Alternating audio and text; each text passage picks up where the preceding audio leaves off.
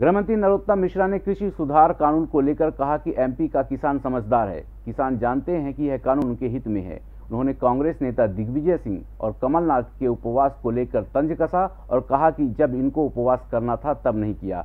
कमलनाथ सिखों के बीच जाएँगे, तब उन्हें उनकी अहमियत पता चलेगी। गृह मंत्री नरोत्तम मिश्रा ने कहा, एमपी का किसान जानता है कि कृषि सुधार कानून उनके हित में बनाए गए हैं। सभी मंत्री किसान सम्मेलन में जाएँगे और कृषि सुधार बिल के बारे में किसानों को बताया जाएगा। उन्होंने कमलनाथ पर निशाना साधते हुए कहा कि कमलनाथ जब सिखों के बीच जाएँगे, तब उनको उनकी अहमियत समझ में आ जाएगी। कांग्रेस के कॉन्ट्रैक्ट फ़ार्मिंग के विरोध पर उन्होंने कहा कि कांग्रेस कभी एक मत नहीं रहती। नौजवानों को भत्ता नहीं दिया ना कर्ज माफ़ी की कांग्रेस जो कहती है, वो नहीं करती है। प्रदेश सरकार द्वारा चलाई जा रही मिलावट पर कसावट अभियान पर उन्होंने कहा, मिलावट खोरों के खिलाफ कड़ा कानून आएगा। तीन साल तक की सजा का प्रावधान होगा। युवा कांग्रेस संगठन चुनाव में उठे विवाद पर उन्होंने तंज कसते हुए कहा, यूथ कांग्रेस चुनाव में सिर्फ़ परिवारवाद है। किसी नेता के बेटे को लाभ देने के लिए यह पूरी कवायद की गई है। वैसे मध्य प्रदेश का किसान समझदार है। हमारी समझाइश की उसे आवश्यकता नहीं है। वो खुद ही इस भ्रम और झूठ से दूर है। वो जानता है कि भारतीय जनता पार्टी सदैव किसान के हित में ही निर्णय करती है।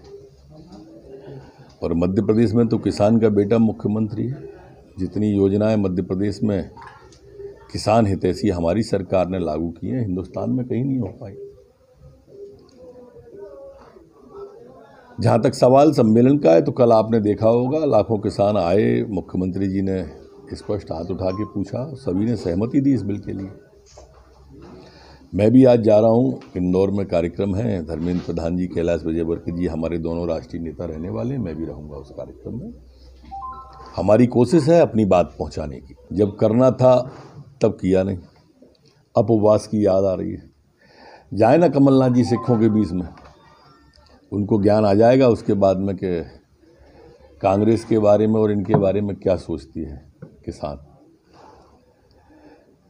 अब ज़्यादा दिन तक मामला चलने वाला नहीं है, आराम का वक्त है, आराम करें। कांग्रेस नहीं कांग्रेस हमेशा दो मुही राजनीति करती है। और इसलिए कमलनाथ जी ने जिस सोचना है उसका विरोध कैसे करेंगे? लेकिन वो जो कहते हैं, वो करते नहीं, जो करते हैं, वो कहते नहीं हैं। अभी जो कह रहे हैं, वो किया नहीं है। और जो कहा था, कर्जा माफ़ी वो किया नहीं। जो कहा था, नौजवान को बेरोजगारी भत्ता वो दिया नहीं। तो ये स्वाभाविक रूप से दो मुहें राजनीति कहलाती है। हमने अभियान प्रारंभ किया था, अब हम इसे संज्ञेय अपराध बनाने पर विचार कर रहे हैं। एक संशोधन करके लाने के बारे में विचार चल रहा है, जिसमें तीन वर्ष से अधिक की सज़ा का प्रावधान इसके अंदर किया जाएगा। अभी हमने मिलावटी छब्बीस हज़ार से अधिक दूध पकड़ चुके हैं। सौ किलो से अधिक पाउडर पकड़ चुके हैं। चार हज़ार किलो से ज़्यादा मावा मिलावटी पकड़ में आया है। और पूरी तरह से मिलावट पर कसावट में मध्य प्रदेश के अंदर ऐसे लोगों को नहीं रहने देंगे। जो ड्रग माफिया है, उसके खिलाफ भी लगातार हमारी कार्रवाई चल रही है।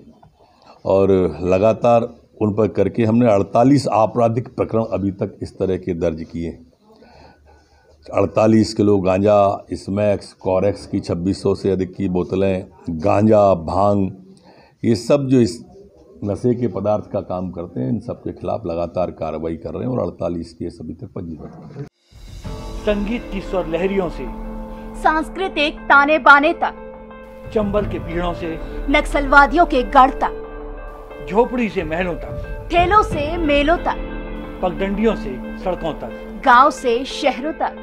व्यापार से उद्योगों तक। राजनीति से कूटनीति तक। दखन न्यूज़। आपके हक में।